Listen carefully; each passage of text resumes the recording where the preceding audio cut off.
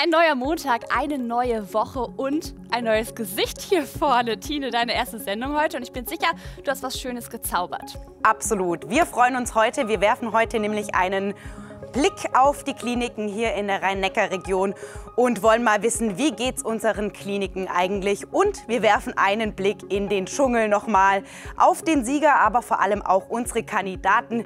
Hier Harald und Manuel. Und los geht's.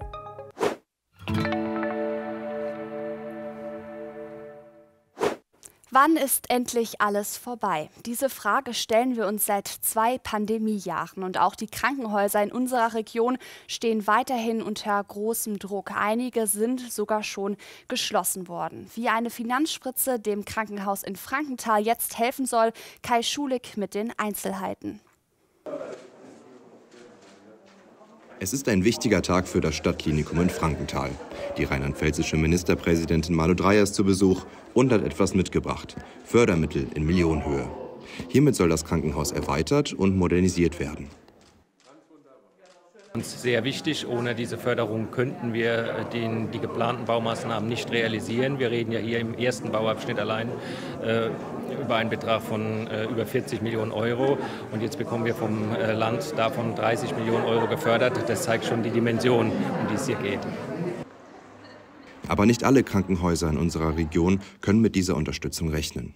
Einige Kliniken in der Pfalz, wie in St. Goar, Ingelheim und Oberwesel, droht das aus oder sie mussten bereits geschlossen werden. Das Klinikum Grünstadt bemüht sich ebenfalls um staatliche Unterstützung. So soll eine Vergrößerung der Notfallambulanz und der Umbau von Mehrbett in Einzelzimmer finanziert werden. Eine Unterbringung der Patienten in getrennten Räumen könnte für mehr Hygiene sorgen. In Pandemiezeiten besonders wichtig. Wie viele Krankenhäuser in der Region muss auch das Klinikum in Grünstadt Operationen verschieben und Intensivbetten freihalten. Eine spürbare finanzielle Mehrbelastung. Doch wie im vergangenen Jahr verteilt das Land Rheinland-Pfalz Ausgleichszahlungen. 2022 sind dafür bisher 25 Millionen Euro vorgesehen. Doch die größte Herausforderung ist und bleibt der Fachkräftemangel. Besonders jetzt in der Omikron-Welle wächst die Sorge vor zusätzlichen Personalengpässen, auch im Frankenthaler Klinikum. Die Belastung ist war in den letzten zwei Jahren sehr hoch. Das hat natürlich dazu geführt, kann man nachvollziehen, dass einzelne Mitarbeiter noch stärker belastet waren und dadurch die Überlegungen, aus dem Beruf auszusteigen, wirklich mehr geworden sind. Und wir spüren auch, dass die Mitarbeiter beispielsweise ihre Arbeitszeit reduzieren und viele mit dem Gedanken spielen, was sehr schade ist, ganz auszusteigen. Das merken wir. Auch wenn die Krankenhäuser gut durch die Omikron-Welle kommen sollten, bleiben manche Probleme ungelöst. Handlungsbedarf besteht also an vielen Ecken. Unter anderem über die Gründe von Schließungen hat Alicia Beisel mit dem Verband der Krankenhausdirektoren Deutschland gesprochen. Herr Förster, es geht ja vor allen Dingen um kleinere Kliniken, die an kleineren Standorten auch zusammengelegt werden müssen. Was hat es denn für Gründe?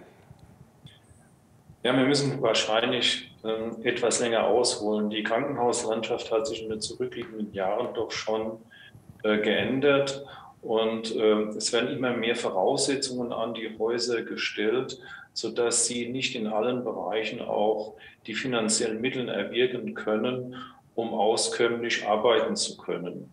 Dazu kommt, dass natürlich auch Patienten mittlerweile mobiler sind. Sie äh, sind bereit, weitere Wege auch zu fahren, um äh, entsprechende Kompetenzen zu erreichen. Und letztendlich ähm, unser Fachkräfteproblem, das ja nicht nur in den Krankenhäusern, sondern insgesamt vorherrscht. Es wird immer schwieriger, das entsprechend ausgebildete Personal in die Kliniken zu bekommen. Und wenn Sie nicht ausreichend von diesem Personal vorhalten können, können Sie wiederum nicht die entsprechende Abrechnung bringen, sodass Ihnen es dann wieder an den Finanzen fehlt. Und dieser Kreislauf führt dann im Endeffekt dazu, dass Kliniken in bestimmten Regionen ähm, Überlegungen treffen müssen, wie sie für die Zukunft es gestalten können. Teilweise wird geschlossen, teilweise werden Kliniken zusammengelegt. Wenn jetzt aber immer mehr Kliniken auch auf dem Land schließen, kann denn da noch eine flächendeckende Krankenhausinfrastruktur gewährleistet werden für jeden? Grundsätzlich ist für diese flächendeckende Versorgung zuerst einmal die Landesplanung zuständig. Also das äh, Landesministerium muss Mittel und Wege finden, um das zu gewährleisten. Wäre ähm, keine Zusammenlegung oder wäre irgendwo, ähm, die, wären die Anfahrtswege zu weit, äh, würde das Land mit einem sogenannten Sicherstellungszuschlag den finanziellen Bereich ausgleichen, dass das Krankenhaus dann ähm, auskömmlich wirtschaften kann. Sie haben es jetzt schon teilweise angesprochen. Wo liegen denn die größten Herausforderungen aktuell für Krankenhäuser, abgesehen jetzt von Corona?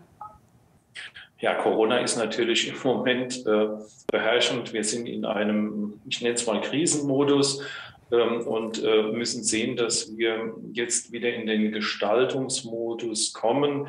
Ähm, die Finanzierung ist ähm, da natürlich ein Problem. Äh, wir müssen die Krankenhäuser wieder in ähm, einen normalen Ablauf bekommen. Je größer das Haus, desto schwieriger wird es sicherlich auch werden. Die Patienten müssen wieder ähm, sich sicher sein, dass sie in den Krankenhäusern gut aufgehoben sind. Ähm, und äh, wir kämpfen im Moment natürlich auch damit, dass äh, in den zurückliegenden zwei Jahren viele Patienten versucht haben, ihre Eingriffe, ihre Erkrankungen etwas nach hinten zu schieben, was im Endeffekt dazu führt, dass sie im Moment jetzt in den Krankenhäusern ähm, etwas als schwierigere Patienten aufschlagen, was uns insgesamt etwas äh, das Leben schwerer macht. Und natürlich dann auch für die Patienten im Endeffekt. Und jetzt gibt es weitere Nachrichten für Sie im Überblick. Kampf gegen Hasskommentare. Das Landeskriminalamt Rheinland-Pfalz hat eine neue Ermittlungsgruppe mit dem Namen Hate Speech gegründet und heute vorgestellt. 14 Mitarbeiter sollen dabei Hasskommentare und Hetze im Internet ausfindig machen. Darüber hinaus sollen Unruhestifter identifiziert und zur Verantwortung gezogen werden. Gegründet wurde die Einheit nach den Polizistenmorden vergangene Woche. Für Innenminister Roger Levens eine mehr als notwendige Maßnahme. Das ist für mich, und ich suche jetzt nach Worten, völlig unverständlich, unbegreiflich. Es ekelt mich an, um nicht noch härtere Wortwahl zu nehmen. Äh, man kann sich überhaupt nicht vorstellen, dass man wirklich so etwas äh, in, äh, in die Öffentlichkeit bringt. Da ist schon sehr viel Enthemmtheit dabei. Seit einer Woche hat die Ermittlungsgruppe bereits 102 Fälle von Hass und Hetze zusammengetragen. In 15 Fällen konnten bereits Klarnamen zugeordnet werden.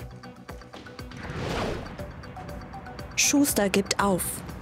Der letzte verbliebene Ladeninhaber im Ludwigshafener Rathauscenter wird nach einem Urteil des Landgerichts Frankenthal nicht in Berufung gehen. Zuvor hatte das Gericht entschieden, dass die Stadt Ludwigshafen die Haupteingänge des Centers nicht öffnen muss, um den Forderungen des Schuh- und Schlüsseldienstes nachzukommen. Was ich, was ich fordere, ist, dass der Kundendrang wie, äh, wie früher, die Tore, dass die Kunden praktisch komplett zu mir kommen können, wie jetzt nicht der Fall ist, dass sie die Tore zugemacht haben. Letztens noch hoffnungsvoll gibt sich nun auch der letzte Mieter geschlagen. Eine Offerte der Stadt Ludwigshafen über 30.000 Euro hatte der Ladeninhaber zuletzt abgelehnt. Ob er nun das Rathauscenter endgültig verlassen wird, steht noch aus. Ausbildungsscouts gegen Azubi-Mangel. Viele Betriebe in Baden-Württemberg suchen händeringend nach Azubis. Auch aufgrund von Corona mangelt es an Bewerbern. Ein neues Modell soll nun Abhilfe schaffen. Sogenannte Ausbildungsscouts werden von mehreren Standorten der Industrie- und Handelskammer entsendet. Sie sollen Unternehmen mit kostenlosen Beratungsgesprächen helfen. Auch die IHK Rhein-Neckar ist bei dem Modell mit dabei. Insgesamt investiert das Land Baden-Württemberg dafür 262.000 Euro. Tatverdächtige verhaftet. Die Polizei in Mailand hat nach sexuellen Übergriffen während der Silvesternacht zwei minderjährige Tatverdächtige festgenommen. Auch zwei Mannheimer Studentinnen wurden in der Nacht sexuell belästigt. Mithilfe von Überwachungsvideos und Zeugenaussagen konnten die Ermittler die Täter identifizieren. Elf Frauen haben mittlerweile Anzeige gegen die Männer erstattet. Der Vorfall in Mailand erinnert stark an die Kölner Silvesternacht. Auch damals wurden zahlreiche Frauen bedrängt. Ein Münchner Metzger hat vor über 160 Jahren die Weißwurst erfunden. Undenkbar, dass die beste Weißwurst Deutschlands nicht aus Bayern kommt, oder? Larissa Hoffmann hat den Mann getroffen, der den Bayern tatsächlich ihre heilige Weißwurst streitig macht. Aus Mannheim kommt die beste Weißwurst Deutschlands und zwar von der Metzgerei Burkhardt. Aber ob sie tatsächlich die beste Weißwurst ist, davon will ich mich erst einmal selbst überzeugen. Die Metzgerei Burkhardt in Mannheim-Waldhof ist bekannt und beliebt. Und das nicht nur bei den Kunden, sogar deutschlandweit darf sie sich Meister der Weißwurst nennen. Die Auszeichnung dafür erhielt der Metzger 2021 zum vierten Mal in Folge. Aber was macht seine Kreation der Weißwurst so besonders? Sie ist geschmacklich etwas stärker wie die in Bayern unten. Die, sie ist auch etwas fester in der Konsistenz, sodass man sie nicht nur sutzeln kann, man kann sie auch anbraten. Und mit Äpfel zum Beispiel glasiert schmeckt sie hervorragend. Ich komme hier einfach, einfach kommen, probieren und schmecken. Ne? Einfach mal schmecken. Ne? Jetzt wollen wir es aber wissen und schicken Kollegin Larissa zur Kostprobe. Hallo. So, hallo Hab gehört, hier gibt es die beste Weißwurst Deutschlands. Ja, kann man so sagen, genau. kann man so sagen. Ja, ja. doch, hier gibt es die beste Weißwurst. Das ist er also, der Weißwurststar. Das weiße Gold. Jedes Jahr schickt Fleischermeister Philipp Burkhardt die Brühwurst zum Feinschmeckerwettbewerb in die französische Normandie, nach Alençon. Seit seiner ersten Teilnahme hat er das Siegertreppchen dort nicht mehr verlassen. Ja, der Jury, der hat es bis jetzt seit 2017 immer geschmeckt. Ich habe meinen Titel seitdem jedes Jahr verteidigen können. Mit einem Talent, das dem 29-Jährigen quasi schon in die Wiege gelegt wurde. Auf diesem Wurstküchentisch war ich, als ich ein halbes Jahr alt war, mit meinem Kindersitz. Kinderschale sitzt da drauf, links und rechts zwei Riesenberge von Fleisch und habe meinem Vater und unserem damaligen Metzger zugeguckt, wie die ja, Wurst gemacht haben und geschnitten haben und ja, wenn ich dann schlafen wollte, hat mich mein Vater auf den heißen Kochkessel gesetzt. Und dann habe ich da eine Stunde, zwei Stunden geschlummert mal. Gerne. Quasi im Traum zum Meister. Naja, ganz so war es dann doch nicht. Nach dem Abitur machte Philipp Burkhardt eine Lehre, nahm mit seiner Ausbildungsklasse bei einem Wettbewerb teil und hatte leider das Rezept seines Chefs bis dahin vergessen. Kein Problem für jemanden, der aus einer Fleischerfamilie kommt. Ich habe das Rezept von meinem Vater übernommen, habe es noch ein bisschen abgeändert. Ich bin immer sehr experimentierfreudig. Manchmal habe ich einen höheren Magerfleischanteil beispielsweise. Oder ich verwende manchmal ein bisschen mehr Gewürz von dem, ein bisschen weniger von dem. Damit hat er mit seiner Klasse den Wettbewerb gewonnen. Und Burkhard Senior ist auch nach weiteren Siegen noch ganz schön stolz auf seinen Sohnemann. Mein Sohn ist deutscher Meister. Ne? Andere sind es im Fußball, eher mit der Weißwurst. Was steckt denn nun alles in der besten Weißwurst Deutschlands? Hauptbestandteile sind mageres zartes Kalbsfleisch, Schweinefleisch aus der Keule und kerniger Rückenspeck. Und dazu ganz viel frische Petersilie. Zitronenabrieb, verschiedene Gewürze, Kochsalz, Pfeffer, weißgemahlen, Muskat, Mazis, Koriander und noch ein paar weitere Zutaten, die ich nicht verraten kann. Zuerst wird das Fleisch zerkleinert und anschließend mit der Petersilie, Zwiebeln, den Gewürzen und Eis vermischt, bis 5 Grad erreicht sind. Im Anschluss werden die Därme über eine Stande gezogen und mit der Fleischmasse befüllt. Wichtig dabei ist, dass die Därme nicht zu stark befüllt werden, da die Wurst sonst aufplatzt. Danach wird alles zu kleinen Würsten gedreht. Zum Schluss ab in die zuvor zubereitete Brühe, warten bis das Wasser 75 Grad hat. Und fertig. So, Trommelwirbel. Meine erste selbstgemachte Weißwurst die wollen wir doch jetzt mal probieren, oder? Zusammen? Prost. Prost. hm. Hm. Lecker. Definitiv zu Recht deutscher Meister. Um die Wurst geht es auch für Nikolai Kraft. Wir haben bereits im Dezember letzten Jahres mit dem Zweirad-Rennsport-Talent aus Hockenheim gesprochen, das sich jetzt den großen Traum von der IDM Königsklasse erfüllen möchte. Der 23-Jährige will bei der internationalen deutschen Motorradmeisterschaft Supersport 600er Klasse an den Start gehen. Doch dafür ist er auf finanzielle Unterstützung angewiesen, nämlich auf 20.000 Euro. Er startete deshalb eine Crowdfunding-Aktion, die heute Nacht endet. Wie die Chancen aktuell stehen, darüber haben wir mit ihm vor der Sendung gesprochen. So eine Saison im Profirennsport ist teuer, das haben Sie, Nikolai, im Dezember im Ron-Interview gesagt. Wie viel Geld fehlt denn noch bis zu den 20.000 Euro?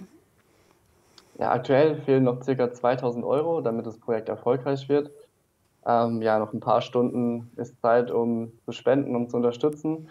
Aber wir haben allerdings auch im Hintergrund den ein oder anderen, den ein oder anderen Sponsor noch gewinnen können. Darunter haben wir auch einen Hauptsponsor, und zwar der Dachdeckerbetrieb Limmer aus Catch. Und ja, von daher sieht das Projekt schon sehr, sehr gut aus. Inwiefern ist diese Summe denn obligatorisch, um in die nächste Rennklasse zu kommen? Ja, die Summe von den 20.000 Euro, die ist äh, ja, sehr wichtig für uns, da wir da eben die neue Rennmaschine eben finanzieren. Und ja, die Saisonkosten, also auch, es ist ja noch Reifen, Sprit und die Nenngebühren, die sind ja auch noch mit drin, auch Trainings und so, die finanzieren sich dann aus Eigeninvestitionen. Klar, äh, Motorradrennsport ist teuer auf dem Niveau, deswegen muss man da aus eigener Tasche auch was ja, mit einbeziehen. Aber ja, von daher äh, kann ich mich einfach nur noch freuen, dass es jetzt losgeht. Das Projekt sieht sehr gut aus, Sponsoren sind auch da und äh, von daher passt das. Ja, wann ginge die Saison denn los und welche Ziele haben Sie sich als Neuling gesteckt? Ja, die Saison geht Anfang Mai los am Lausitzring. Ähm, ja, aber für mich geht es quasi schon davor zum Trainieren los. Und da schauen wir, wenn die Rennmaschine dann fertig ist vom Team, dass wir dann nach Spanien eine Woche gehen, um eben das Motorrad eben zu testen. Dann nehme ich alles neu für mich. Und ja, da probieren wir, dass alles perfekt abgestimmt wird. Und ja, für die Saison an sich ähm, stecke ich mir die Ziele, dass ich ähm, das ein oder andere Mal auf jeden Fall in die Top 10 fahren kann. Das wäre für mich ja, ein sehr großes Ziel und würde mich auch sehr freuen, wenn ich das erreichen kann. Und da gebe ich natürlich alles, damit es auch umsetzbar wird. Mhm. Dann drücken wir die Daumen und alles Gute Ihnen. Vielen Dank, vielen Dank. Und von der Rennbahn geht es jetzt direkt auf den Rasen für unseren Sportüberblick. FCK trägt schwarz. Der Fußball-Drittligist 1. FC Kaiserslautern trauert um seine Torwart-Ikone Ronny Hellström. Der einstige schwedische Weltklasse-Torhüter verstarb gestern an einer Krebserkrankung. Hellström kam 1974 zum FCK und blieb zehn Jahre lang den Pfälzern treu. Neben 266 Bundesligaspielen bestritt er für den FCK auch zahlreiche internationale Partien. Auch nach seiner Karriere war er immer wieder Gast im Fritz-Walter-Stadion. Hellström wäre am 21. Februar 73 Jahre alt geworden. Überragender Wagner. Handball-Zweitligist Eulen Ludwigshafen hat in seinem ersten Spiel des Jahres den ersten Sieg eingefahren. Am Ende stand ein knapper 25 zu 23 Erfolg über den TSV Bayer Dormagen auf der Anzeigetafel. Sieggarant auf Seiten der Eulen war Nationalspieler Hendrik Wagner. Der 24-Jährige traf für die Ludwigshafener gleich achtmal. Doch für die Eulen geht es in diesem Monat Schlag auf Schlag. Schon am Mittwoch um 19 Uhr steht das nächste Heimspiel gegen den ASV Hamm Westfalen an. Sportpass als Rettung? Die SPD setzt sich mit einem Antrag für die Einführung eines sogenannten Sportpasses ein. Dieser soll durch die Stadt gemeinsam mit dem Sportkreis Mannheim eingeführt werden, um den Mitgliederschwund bei Sportvereinen entgegenzuwirken. Die sinkenden Mitgliederzahlen zu Corona-Zeiten seien vor allem bei den Mannheimer Sportvereinen alarmierend. Durch den Sportpass sollen sie die Möglichkeit erhalten, ihre Arbeit vorzustellen und zu Probetrainings einzuladen. Zudem soll ein finanzieller Zuschuss zu Mitgliedsbeiträgen innerhalb des Corona-Hilffonds geprüft werden. So unscheinbar er doch anfangs äh, war, desto mehr ist er Folge für Folge über sich hinausgewachsen. Manuel Fleginger aus dem beschaulichen Limburger Hof hat beim Dschungelcamp 2022 den dritten Platz belegt. Äh, einer, der das Abenteuer in Südafrika mit Adleraugen verfolgt hat, ist sein Ex-Freund und der ist gerade mächtig stolz auf Manuel. Warum? Das zeigen wir Ihnen jetzt. Auf Manuel! Auch wenn er sich nicht die diesjährige Dschungelkrone geholt hat, Manuel Flickingers Freunde sind mächtig stolz auf ihn. Allen voran sein Ex-Freund Philipp. Wer hätte Ende letzter Woche noch gedacht, dass er es bis aufs Treppchen schafft? Deshalb gratuliere ich Manuel von ganzem Herzen und das zeigt, Manuel Flickinger darf man niemals unterschätzen, auch jetzt nicht. Auch nicht bei seiner letzten Dschungelprüfung. Manuel holt zwar keinen Stern, kann aber trotzdem seine Ängste überwinden. Für viele Menschen ist es ja völlig normal, mit dem Kopf unter Wasser äh, abzutauchen, aber Manuel steht dabei Todesängste durch. Und deshalb waren wir alle total stolz auf ihn, dass er diese Prüfung äh, angetreten hat. Und vielleicht wird er jetzt genau damit Betroffenen Mut machen, darüber zu sprechen und sich nicht länger dafür zu schämen. Und überhaupt nicht zu schämen braucht man sich für einen dritten Platz im Dschungelcamp. Auch wenn er die Krone nicht geholt hat, ich bin mir sicher, man wird von Manuel in naher Zukunft im Fernsehen noch einiges sehen. Wir halten auf jeden Fall die Augen offen. Da, das Dschungelcamp ist vorbei, aber zumindest bringen die Camper ein bisschen Sonne aus Südafrika mit. Hier sind die Aussichten für die kommenden Tage. Der Dienstag zeigt sich oft grau mit vielen Wolken. Ganz auf Sonne verzichten müssen wir aber dennoch nicht. Zumindest kurz lässt sie sich zwischendurch auch mal blicken. Und abgesehen von ganz vereinzelten Tropfen kommen wir meist trocken durch den Tag. Zumindest bleibt es sehr mild. Die Höchstwerte erreichen 8 bis 9 Grad. Wer im Bergland unterwegs ist, bekommt immerhin um die 6 Grad. Auf den Mittwoch dürfen wir uns schon jetzt freuen, denn der fühlt sich mit viel Sonne und 12 Grad schon fast wie Frühling an. Auch danach geht es noch recht freundlich und trocken weiter. Nach bis zu 10 Grad am Donnerstag wird der Freitag aber schon etwas kühler. Das sieht doch schon ganz gut aus. Ich bin ja auch schon im Sommer- bzw. Dschungel-Look. Übrigens, Tine, heute ist Schick einem Freund eine Karte Tag und deswegen habe ich mir auch was für dich überlegt. Bitteschön. Guck mal drauf. Was steht da? Feierabend. Feierabend. Wir verabschieden uns jetzt in den Feierabend. Danke dir. Danke dir. Spaß Danke gemacht. Ihnen. Und bis morgen, wenn Sie möchten. Du bist auch wieder da. Auf jeden Fall. Ich auch. Dann schalten Sie morgen wieder ein. 18 Uhr bei Ron. Tschüss.